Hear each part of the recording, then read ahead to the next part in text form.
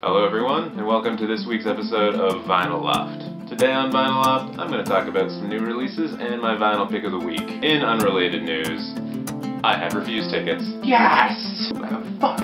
My hat came off.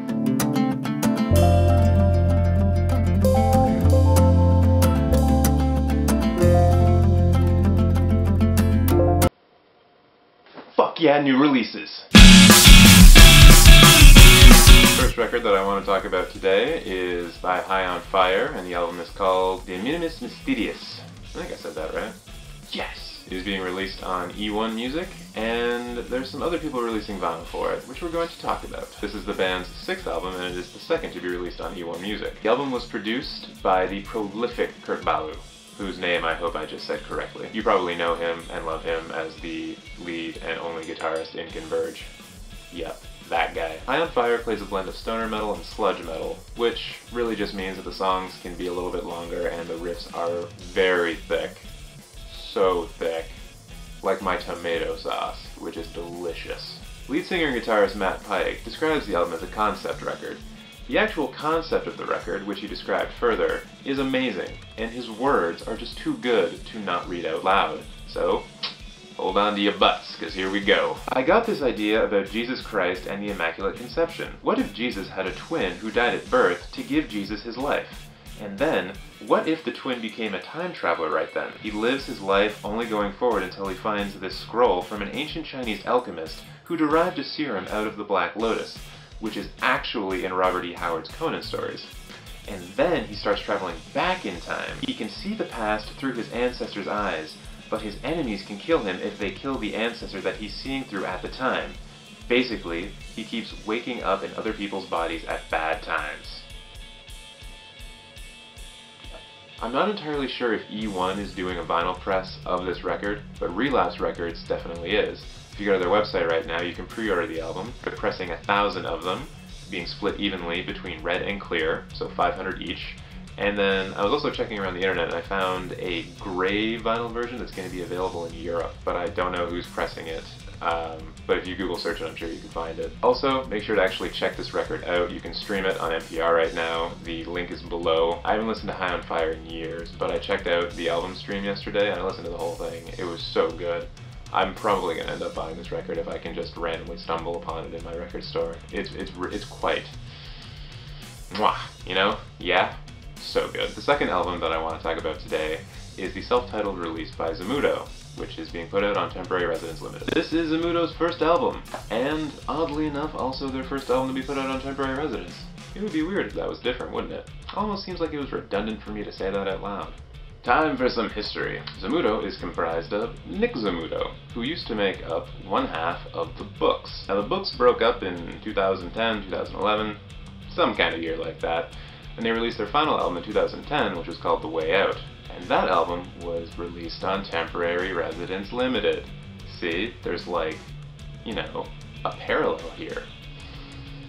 Yeah. Sorry, I'm so sorry you saw that. I have trouble describing this album sonically, although Spin.com was able to do it with just one word. That one word? Bubbly. The album is bubbly. Isn't that great? Isn't that a great description of a sound? It's bubbly, but it's not Grimes bubbly. Thank God. It's true that the album is bubbly, but it also feels like it's the first album that is ushering in summer.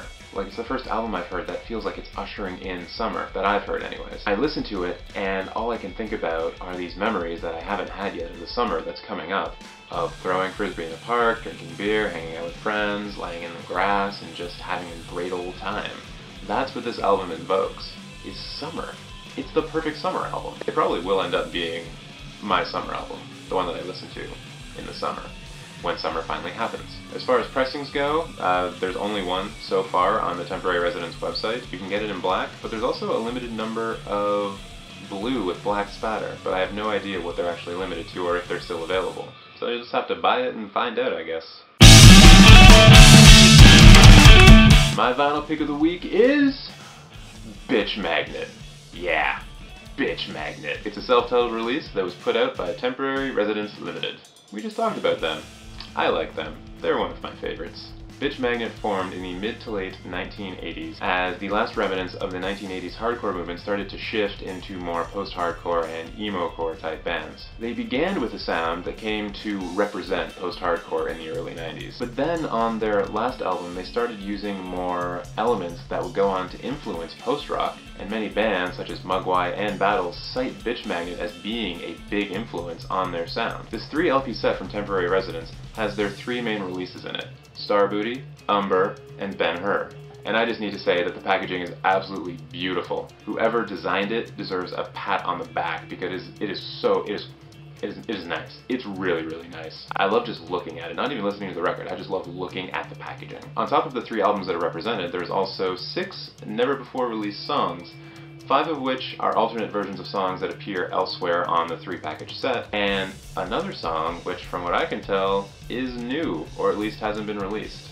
So I imagine it was on some kind of demo or B-side or something like that. Like I said before, this is a 3 LP set, and it was limited to a press of 2,000, but it's still available on the Temporary Residence website if you do so feel inclined to purchase it. This retrospective is a must for any post-hardcore fan, and if you're just starting to get into it, this is a great way to dive into the genre because these guys are good. Alright everyone, that's all I've got for you this week. Remember you can follow me on Twitter, I'm at TJ the Mute, and you can follow the show as well at VinylLoft. You can also like us on Facebook, follow us on Tumblr, and subscribe to us on YouTube, which is right here. You can do that right now. Just click, click, click, click. Done. You're a subscriber. Oh, and by the way, there might be a contest coming up, so keep watching just in case you like winning free stuff, which you probably do, because you're people. And when the credits roll, you'll be exactly 18 days away from Record Store Day. See you, Space Cowboy.